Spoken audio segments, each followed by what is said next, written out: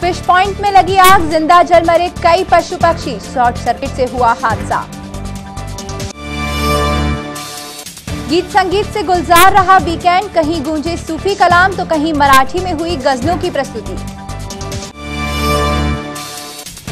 Junior doctors की उभरी बेबसी, मरीजों से दवा और उपकरण मंगवाने की घटना के बाद बताई एम्बॉय की खामियाँ। सांसद ने भी किया आकस्मिक दौरा।